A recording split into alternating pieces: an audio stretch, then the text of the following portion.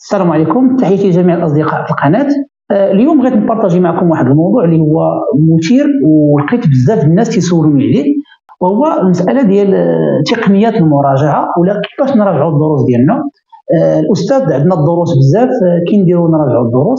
أستاذ كاين بزاف ديال الدروس كينديروا نراجعوها. طبعا هنا ما كاينش واحد القاعدة محددة تقول كيفاش غنبريباريو الدروس أو كيفاش غنراجعوها أول حاجة بغينا نتفاهموا عليها قبل ما نبدأ هذا الفيديو هو أنه ما نخليوش دائما آه، الامتحانات حتى لآخر لحظة ونبدأو نديروا عمليات المراجعة. إلا بغينا نديروا المراجعه خصنا نديروها من الآن. طبعا ما حد باقي مدة بالنسبة للناس اللي عندهم الأولى باك ولا الثانية باك ما حد باقي الوقت. طبعا كل شيء متفق على أن وتيرة التعلم ديفلوبات وتطورات وأن المعارف اللي كنا تنعرفوها شحال هذه ولا شنو خصنا نعرفوا ما بقاتش كما آه، هو الأمر اليوم.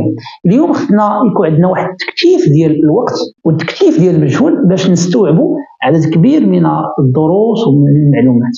وهنا بغيت نفتح واحد القوس بالنسبة للمواد الأدبية آه، بحكم أنني تندرس مادة الفلسفة.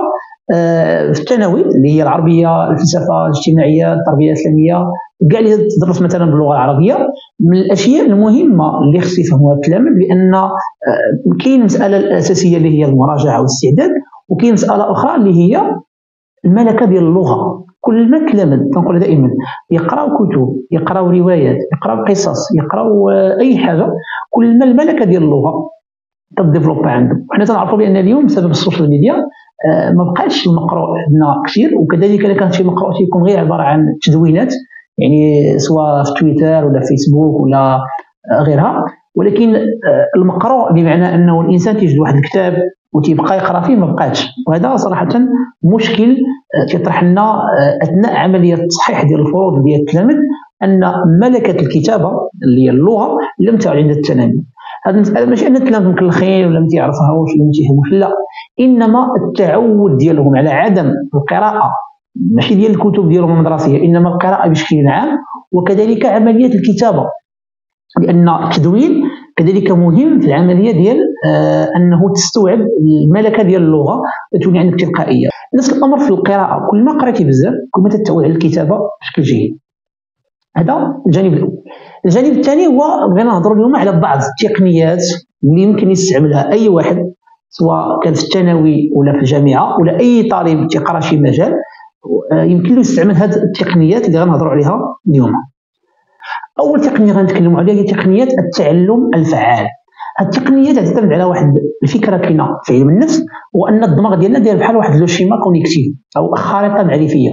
أن كل معرفة قسمناها وجزأناها ودرنا على شكل شجرات أو على شكل واحد لو شيما كما تشوفوا معايا هنا في الصورة كل ما المعرفة غترسخ أكثر وغادي تكون أكثر آه استمرارا على المستوى الذهني غتبقى عندنا حاضرة على المستوى الذهني التقنيه تقول بأننا خصنا نقراو بواحد الطريقة أننا كل ما نقراو شي درس أو شي مجزوءة شي مجال.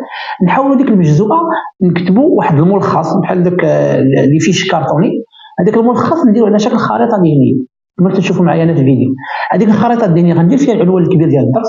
اللي هو مثلا الفلسفة مثلا مفهوم الشخص. وغنحاول ندير خريطة كاملة لذاك الدرس كامل. مثلا المواقف الفلسفية التصورات المفاهيم. ونحاول نكتبها بالأسلوب ديالي ونخبعها ونحاول كل درس ثالثه نستعمل معاه نفس الأمر. أنني ندير واحد الملخص يكون بالأسلوب ديالي وبالطريقة ديالي وبهذه الطريقة هذه غادي نجمع مثلا من دابا لنهايه الموسم الدراسي واحد المجموعة ديال لي فيش كارطون كل فيشية فيها ملخص ديال الدرس. كاين الدرس اللي عطاه الاستاذ آه، أو الكتاب اللي تعطى لي في الجامعة انني نقرا نلخصو وكاين الملخص وكاين التلخيص اللي درته أنا اللي مرتبط بالمجهود ديالي الشخصي. هنا هاد لي فيشي كارطوني تنخليو تنخبعوهم وتنبداو نقراو فيهم من الأسهل للأصعب. تنحاول نقلبوا على المادة اللي اللي سهلة ولقينا أننا سهولة أننا نفهموها وتنبداو نقراوها بشكل منظم. نقراوها مثلا مرة في الأسبوع. كل فيشي كارطوني نحاول نراجعوها مرة في الأسبوع. ماشي بالضرورة نحفظها ولكن نعاود نقراها. نقراها كل مرة. غتقولوا لي آه، شنو الفائدة اذا قريتها وما حفظتهاش؟ الفائدة أن الدماغ ديالنا كيتعلم بطريقه لا شعورية أن كل حاجة تنكرروها بشكل مستمر يسمى التعزيز الإيجابي في علم النفس. كل فكرة تنعاود نكررها كل ما تترسخ أكثر على المستوى الذهني بلا ما ندرك. يعني تولي مسألة سلسة أو تلقائية. يعني بلا ما نحس بأنني حفظت واحد المعلومه ولكن دماغي اوتوماتيكمون تيبدا يتعود عليها ويحس بواحد الأريحية وهو يقرأها. وهنا تتبان أن هذه التقنية هي مشهورة آه، كثيرا جدا وبزاف ديال الناس اللي تستعملوها حاليا. تيلخصوا بها حتى محاضرات تيلخصوا بها كتب يعني طريقة ديال التشجير أو طرق مختلفة ولكن تعتمد على فكرة الخارطه الذهنية. أنك تضع واحد العناوين الكبرى تضع لها واحد الأجزاء أجزاء. آه، التقنية الثانية وهي التقنية ديال ريتشارد فينمان. هذه التقنية تقول بأن آه، كل ما بغيتي تتعلم شي فكرة أو شي معلومة بشكل جيد حاول تطرحها لشي واحد. وهذه القضية كنا تنديروها في ايامات الجامعة أننا تنحاولوا نقراو واحد ال cours نقراو شي ملخص أو شي كتاب وتنجلسوا مع شي واحد تنحاولوا نديسكيتيو أنا وياه تنحاولوا نشرحوا ديك المعلومة. هنا مثلا آه، إلا كنتي طالب ولا كنتي تلميذ ولا كنتي تلميذ ولا كنتي طالبة شنو نطلب منك؟ أنك تقراي واحد الكور ولا واحد المقرر على سبيل المثال واحد تيقرا في علم النفس دخل يقرأ مثلا النظرية السلوكية أو التحليل النفسي يحاول يقرأ واحد الملخص ويمشي عند واحد الصديق ديالو اللي ساكن معاه في الجامعي ويحاول يشرح له ديك المعلومة. يقول له شوف اليوم غنشرح لك واحد المقرر. غنشرح لك واحد الفكرة. اش تيقول فرويد على الله شعور. وتحاول أنت تفهمني. ويحاول يقلب على جميع الميكانيزمات باش يشرح له ديك الفكرة. كل ما غادي يحاول يشرح له أكثر كل ما غتعزز المعلومة أكثر عنده. وتخليه يطرح الآخر أسئلة ما واضحاش عنده وهو غيولي يقلب عليها. وبهذه الطريقة هذه غادي يديفلوب الأسئلة عند آه، التلميذ أو عند الطالب وبالتالي الآخر غادي يولي يقلب على طريقة أنجح باش يشرح الآخر وهذه الطريقة كانت منذ القدم لأن التعليم قديما كان تعليما حواريا.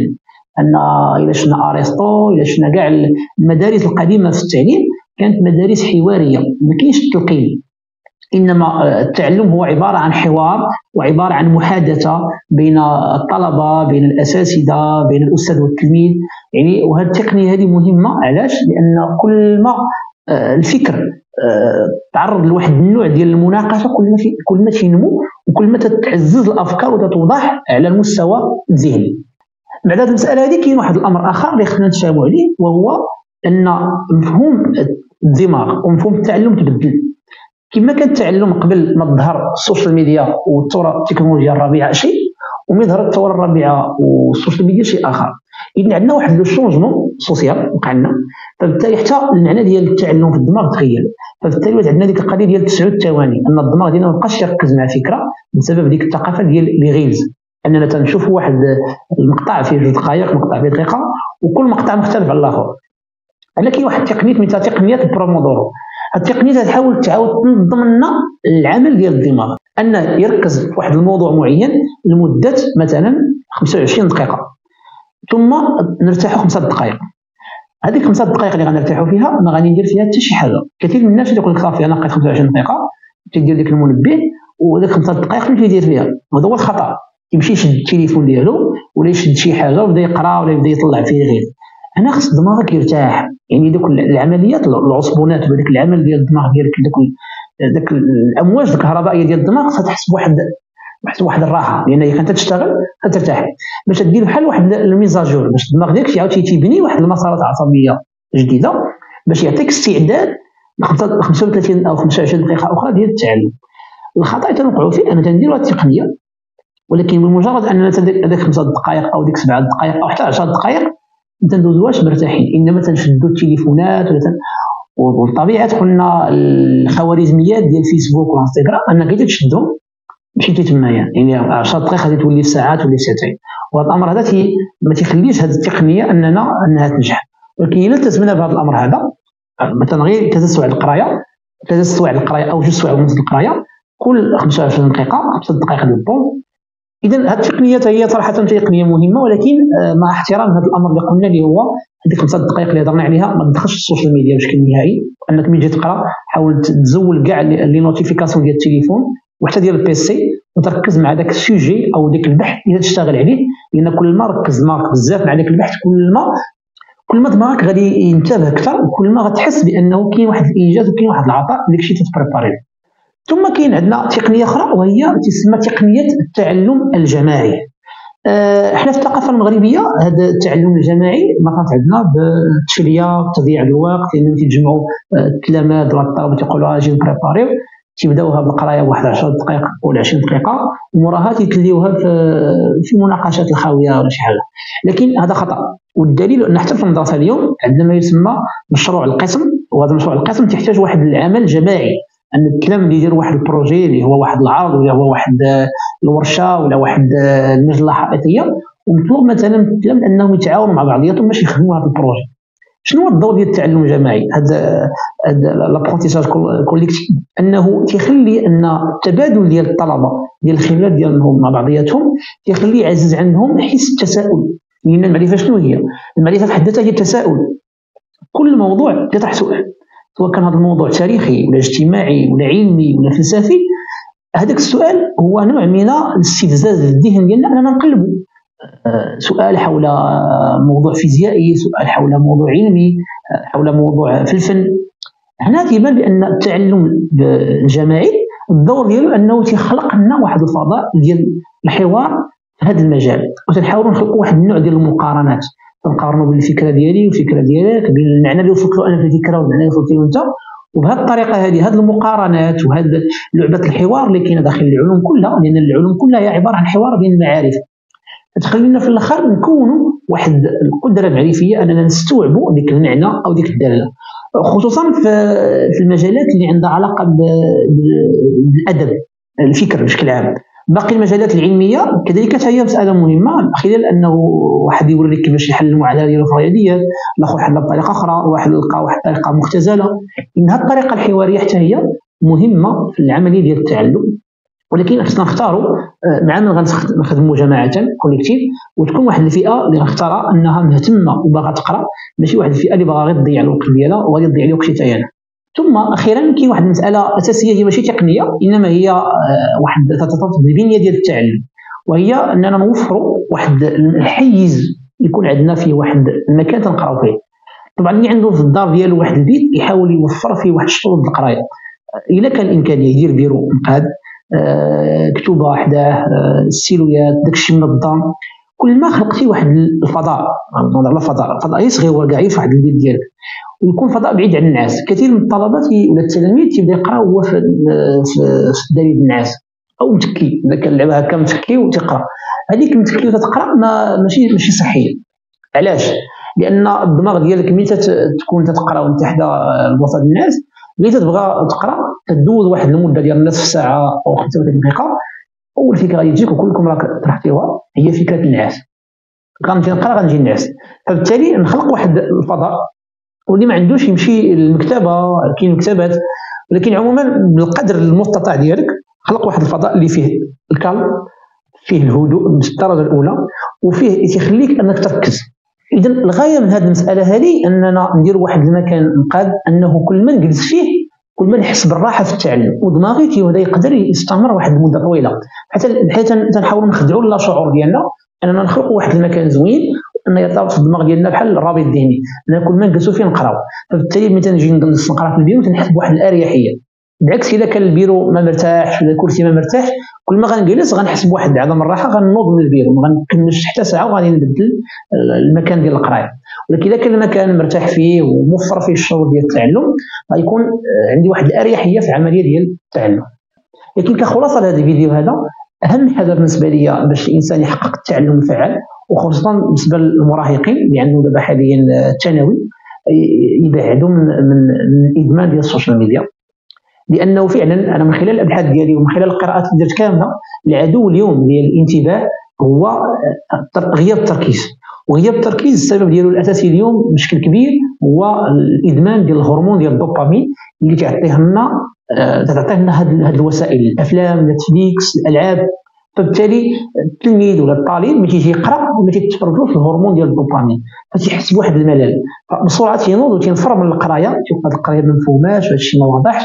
هو ماشي قضيه ما واضحش هو النمط اللي تعود عليه الدماغ ديالو في التفكير. وهذا الامر هذا ما تيبعوش به الاباء يدخلوا في واحد الكونفلي مع ولادهم مغاوته مضاربة. فبعض الأحيان خص يكون الوعي الوعي بانه فعلا كاين متغيرات جديدة في القراية وخصنا نخلقوا واحد الجو ديال المتعة في التعلم. لأن حتى حتى المتعة تتخلي أن المتعلم يحب ديك المادة أو يحب ديك الدرس. فعلاش نقول لكم نوعوا التقنيات ديال التعلم؟ آه يمكن لك دير هذا ال mind map اللي هضرنا عليها خرائط ذهنية الدور ديالها هو أن يمكن لك ترسم وتتقرا ترسم خريطه ذهنية تحول داكشي اللي تقرأ تحول لواحد الأشكال. فنيه أو إبداعية. الموضوع كبير نتمنى أن الشيء يكون مفيد. إذا عندكم شي ملاحظات أو شي أسئلة خليهم لنا في التعليقات. فاستعدوا بما يمكن الاستعداد إليه كما تقول الشاعر وما نيل المطالب بالتمني ولكن تؤخذ الدنيا بغلابه بالتوفيق والنجاح للجميع. نتمنى إلى وصلت لهذا الوقت هذه تبارطاجي هذا الفيديو مع الاصدقاء ديالك باش تعمل فائدة لهذه المعلومات أو على الأقل سمعت هذا الفيديو بارطاجي هذه الأفكار مع الاصدقاء ديالك باش تعمل فائدة. وتبارك الله عليكم.